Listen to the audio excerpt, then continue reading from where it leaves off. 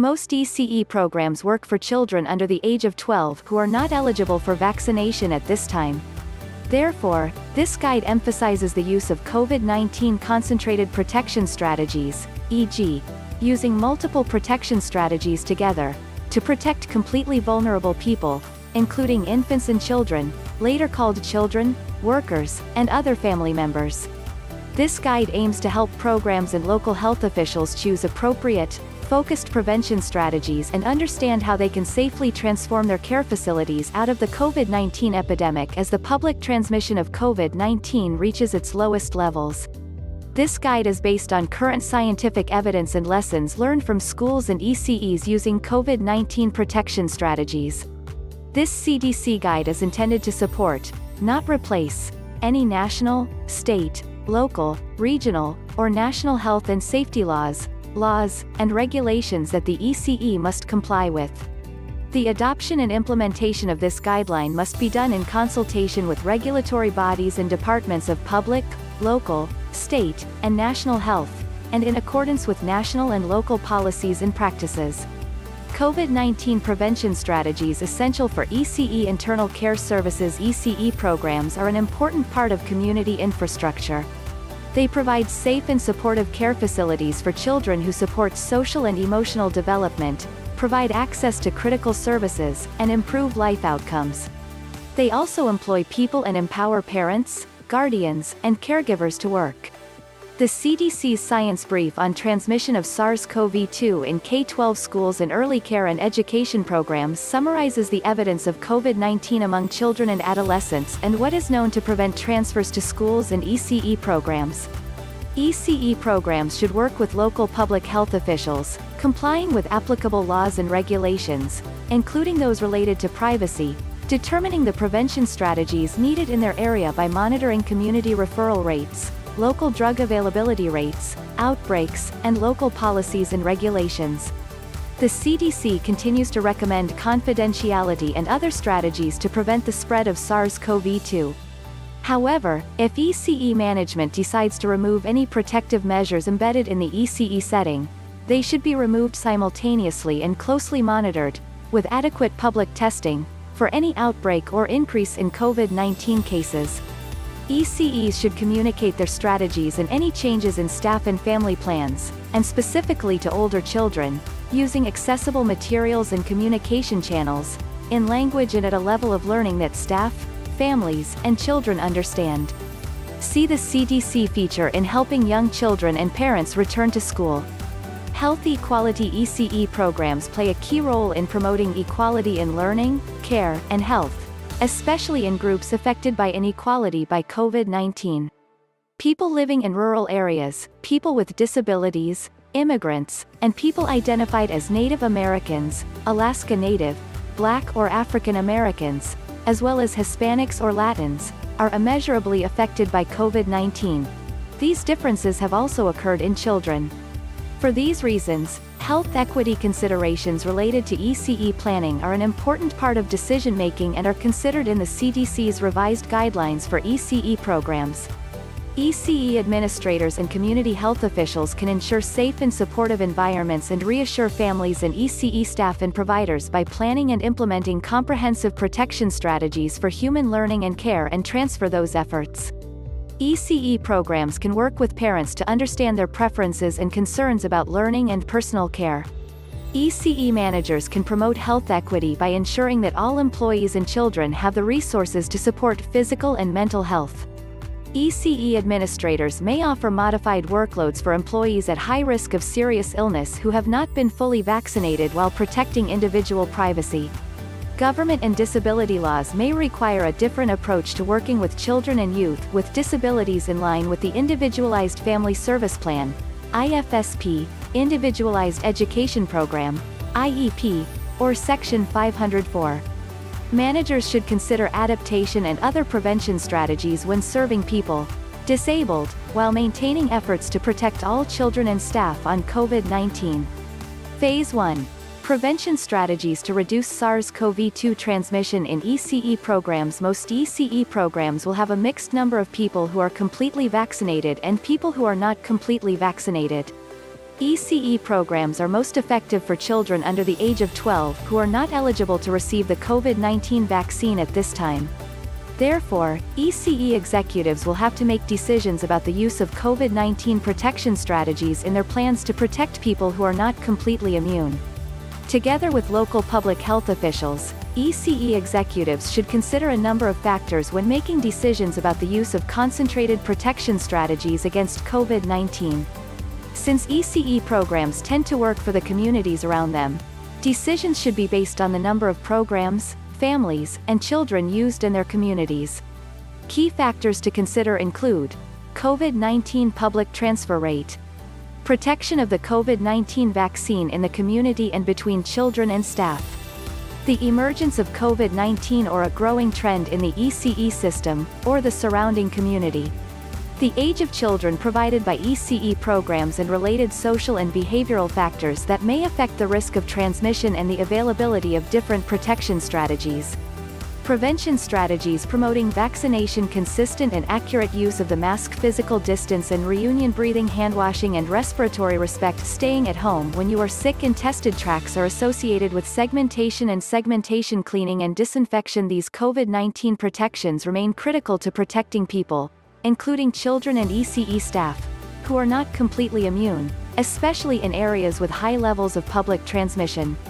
When considering how and when to prevent prevention strategies, one prevention strategy should be phased out, and children and staff should be monitored, with adequate public testing, for any outbreaks or increase in COVID-19 cases. 1. Promoting vaccination Vaccination is currently the best way to protect public health from ending the COVID-19 epidemic. People who are completely vaccinated with COVID-19 are at a lower risk of symptomatic or severe infection. Recent exposure to someone with COVID-19. ECE programs should also allow flexible, unpaid sick leave, policies, and incentives that encourage sick employees to stay home without fear of retaliation, salary loss, or job loss. Employers must ensure that employees are aware of and understand these policies. The combination between COVID-19 symptoms and other common diseases means that some people with COVID-19 symptoms may become ill. This is especially true for young children, who often have multiple infections each year. Although COVID-19, flu, and flu have the same symptoms, different diseases. Children with symptoms of infectious disease or certain symptoms of COVID-19 should not go to your ECE program. Encourage your family to monitor their children's symptoms and keep them at home when they are sick. Parents especially need to pay special attention fever, temperature 100.4 F or higher, sore throat a new uncontrollable cough that causes difficulty breathing, for a child with a chronic illness, asthma. See if there is a change in their normal cough. Diarrhea, vomiting, or diarrhea new onset of headaches, especially with fever people with a fever of 100.4 F, 38.0 C, or more or other symptoms should not be allowed in your facility. The length of time a child has to live without childcare depends on whether the child has COVID-19 or any other disease. In most cases, those with COVID-19 may be close to others in the background 10 days since the onset of symptoms 24 hours free of fever without taking anti-fever medication again some symptoms of COVID-19 are improving close contacts for people with COVID-19 how long a stay at home for people exposed to a person with COVID-19 depends on the status of the vaccine. Children and unprotected employees who were closest to the person, suspect or confirmed, COVID-19 must stay home, isolated, for 14 days after their last exposure to that person. Close contact is defined as within 6 meters of an infected person receiving a total of 15 minutes or more in a 24-hour period. Some areas may choose to use testing to minimize congestion people who are completely vaccinated and do not have COVID-19 symptoms do not need to isolate or self-diagnose after exposure to someone with COVID-19. ECE programs should educate employees and families about when they and their children should stay home and when they can return to ECE programs. Preparing for illness Your ECE plan should use more COVID-19 prevention methods to prepare when someone is sick with COVID-19. Your children or employees may start to experience COVID-19 symptoms while they are in your area. You should take action to differentiate people who start having these symptoms from other children and staff. Arrange to have a separate room or area, preferably by going to a separate toilet, which you can use to isolate the sick child or the employee you work for. Ensure that single children are still under adult supervision. Arrange safe transportation to the home or healthcare facility, if there are severe symptoms, to children or staff if they show signs of COVID-19. Close areas used by a sick person and do not use these areas until after cleaning and disinfecting them. This includes location or shared location, if applicable. Wait at least 24 hours before cleaning and disinfecting.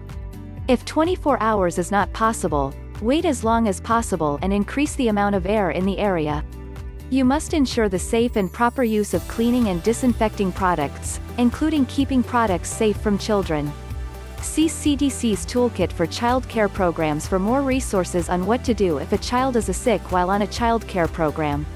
COVID-19 testing The COVID-19 test in which the signals interact with COVID-19 will help to track the immediate contact and prevent possible spread, especially if protective, masking and remote techniques are not used. Encourage families to monitor children at home for signs of infectious diseases including COVID-19 to determine when to seek medical attention or care. Develop policies that encourage sick workers to stay home without fear of adverse consequences. Ensure that policies are clearly communicated to employees.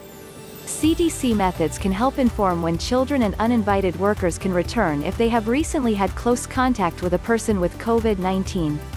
Develop and consult with staff and families about your policies to return to your ECE program after a COVID-19 illness. The CDC's approach to isolation and segregation can inform these policies.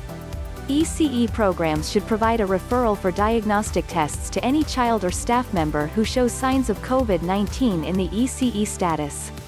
Some ECE programs may also choose to test for non-vaccinated employees as a way to identify causes and prevent second transfers. This includes testing tests for people without symptoms without any known disclosure for the purpose of making decisions based on test results. ECE programs that are interested in providing a clinical trial should contact the local health department to discuss alternatives. 7. Touch follow-up by separation and separation ECE programs must continue to work with state and local health departments, to the extent permitted by privacy and other applicable laws, to provide confidential information to persons identified or identified by COVID-19. This allows you to identify which children and staff with positive COVID-19 test results should be isolated, and which contacts should be isolated. ECE systems should report, to the extent permitted by applicable privacy laws, good cases in their state or local health department as soon as they are notified. ECE managers must inform, to the extent permitted by applicable privacy laws, staff and the families of their immediate children, on the same day if possible, after being informed that someone in the program has been tested for HIV. People who are fully vaccinated who are very close to a person with COVID-19 but who do not have COVID-19 symptoms do not need to be isolated or tested. Resources for isolation, isolation, and testing revised recommendations for prevention and control of health control in response to COVID-19 immunization time for separation and testing of COVID-19 details of COVID-19 for workplaces and businesses 8. Cleaning and disinfection in general, cleaning once a day is usually sufficient to adequately remove any potential infection. However, in addition to purifying COVID-19, ECE systems should follow recommended procedures for cleaning and disinfection in their natural state. E.g. after tearing, feeding, and exposure to body fluids. See Caring for Our Children external icon.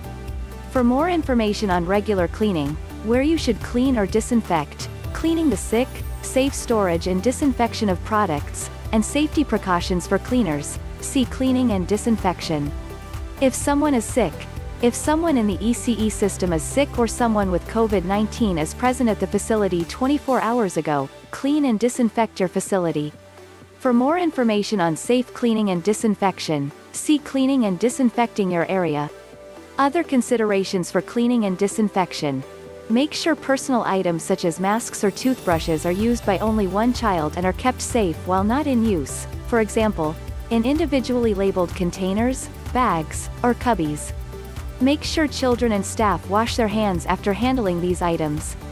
Follow the recommendations for cleaning and cleaning toys learn how to reduce the risk of asthma attacks while killing germs. consider contacting the state ECE office to see if there are any additional resources for disinfection and disinfection through the Federal Emergency Management Agency. External Icon or the Child Care and Referral Services Agency External Icon Phase 2.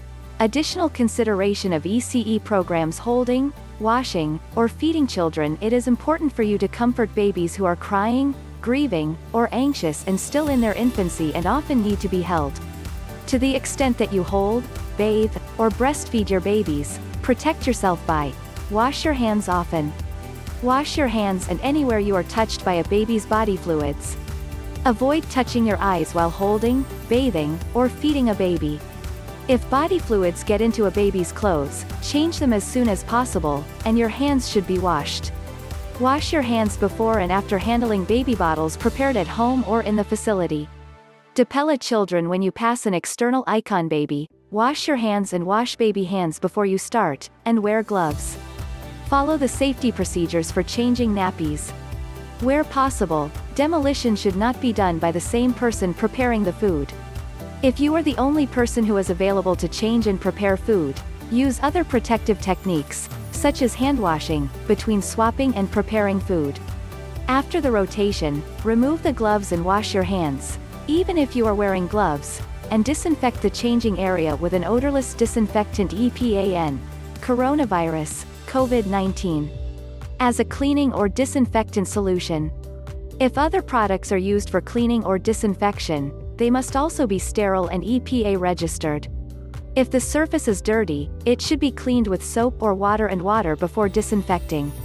If reusable cloth diapers are used, do not wash or clean them in your area.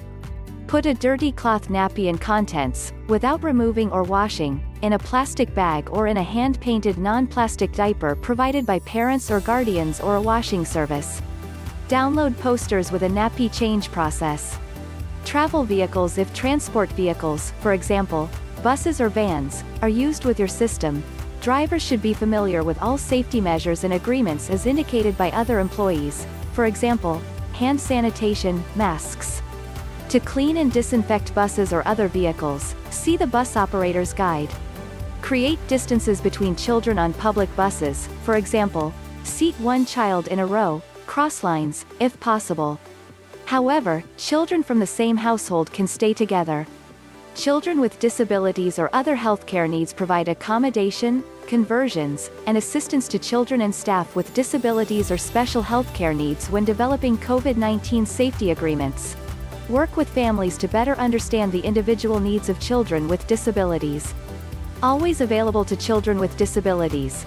Help provide access to specific service providers, DSPs, e.g., professional staff, therapists, early intervention specialists, mental health counselors, and health care providers, etc. If DSPs that are not fully vaccinated provide services in more than one area, ask if any of their other service areas have been affected by COVID-19. Ensure the availability of services for students with disabilities in collective development. Adjust strategies as needed Be aware that abstinence from wearing masks can be difficult for young children and people with disabilities, for example, visual or hearing impairments, or those with neurological or mental problems. For people who are completely immunized and unable to wear a mask sometimes for the above reasons, prioritize them to wear a mask at times when it is difficult to separate children and or staff, e.g. while standing in line or during a drop-off and pick-up. Imagine having completely unprotected staff wearing a clear or cloth mask with a clear panel when interacting with young children, children learning to read, or when interacting with people who rely on reading lips. Use behavioral strategies, such as modeling and reinforcing behaviors and using picture schedules, timers, visual cues, and positive reinforcement, to help all children adapt to changes or changes in routes please refer to the specific service provider guide for DSPs serving children with disabilities or other healthcare needs during COVID-19. Visitors ECE programs should review their visitor rules and family engagement activities. ECE programs should restrict non-essential visitors, volunteers, and activities involving external groups or organizations with completely uninfected persons, especially in areas where there is the moderate or high public transport of COVID-19.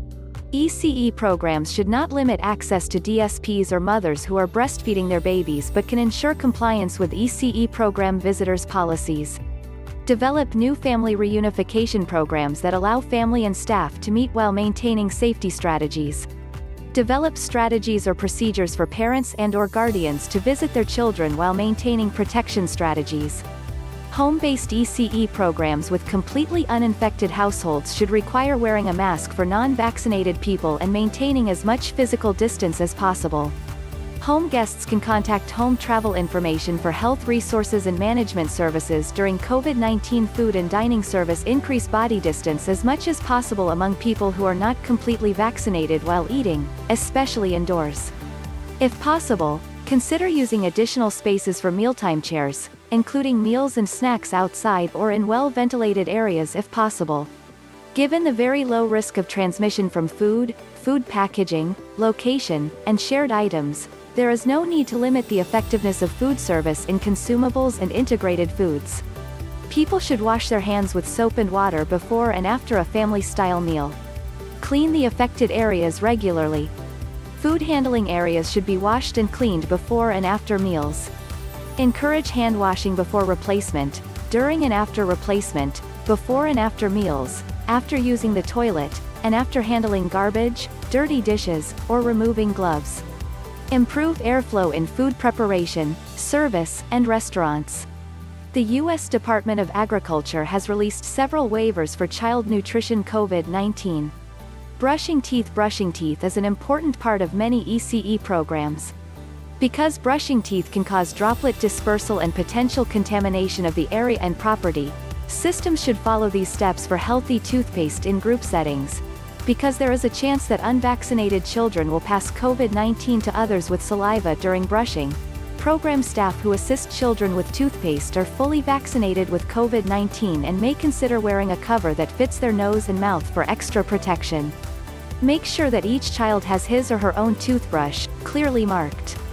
To prevent contamination of the tooth tube, make sure that an amount equal to the P of the toothpaste is given on a piece of wax paper before applying anything to the toothbrush. Encourage children to avoid placing toothbrushes directly on opposing areas. After the children have finished brushing, be sure to thoroughly brush your teeth with water, allow them to dry in the air, and keep them dry so that they do not come in contact with other children. Have the children bring a cup that is approved for use, or gives the children paper cups that will be used for cleaning after they have finished brushing. Do not allow them to share cups and make sure they discard paper cups or keep cups that can no longer work properly after use once. Annoying the use of bathrooms or other public spaces used for brushing teeth. Allow one group, group, to complete the brushing, then clean and disinfect the area before the other group reaches the area. Follow all available guidelines for cleaning and disinfection in childcare facilities. Make sure children and staff wash their hands with soap and water for at least 20 seconds after brushing their teeth. Additional preventive measures to prevent the transmission of COVID-19 to others during brushing should be followed, such as the instability of children brushing their teeth to give more space, having children spit in the sink after brushing one at a time, washing hands with soap and water for at least 20 seconds after brushing teeth or helping children brushing teeth, and cleaning and disinfecting the area used for brushing teeth before the other group has access to that area. For more information, see CDC's use and handling of toothbrushes. Physical activity and playgrounds generally, children and adults do not need to wear masks when they are outdoors, e.g., participating in outdoor sports, on vacation, and physical education activities. However, in areas with high levels of transmission, people who are not fully vaccinated are encouraged to wear a mask in crowded outdoors or during activities that involve close contact with other people who are not completely vaccinated. When physical activity, physical education activities, and breaks are held indoors, people who are not fully vaccinated should wear masks and increase the distance where possible. Physical activities provide children with rich opportunities that support physical growth and can help them learn and achieve, and support their social, emotional, and mental health. As a result of respiratory failure, some physical activity could expose completely immunized individuals to the increased risk of receiving and distributing COVID-19. Similar dangers may arise from other household chores, such as singing, singing, and crying.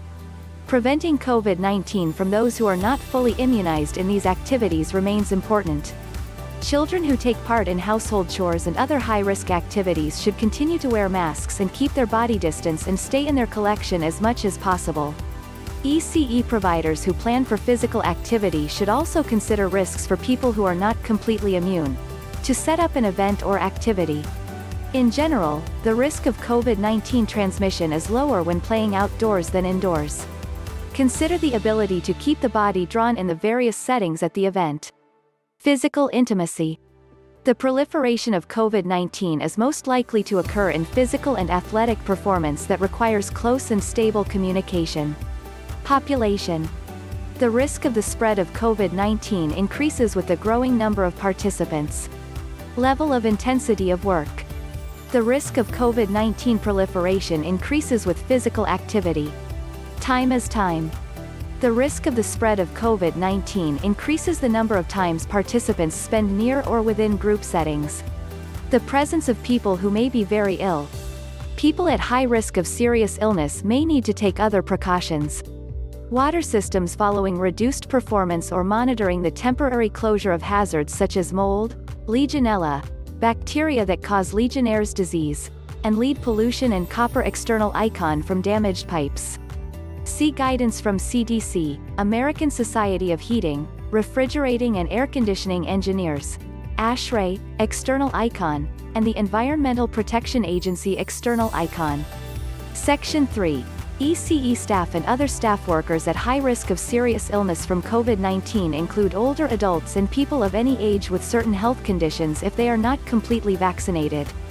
Workers with a basic health condition or who are taking antiretroviral drugs may not be completely protected even if they are completely vaccinated.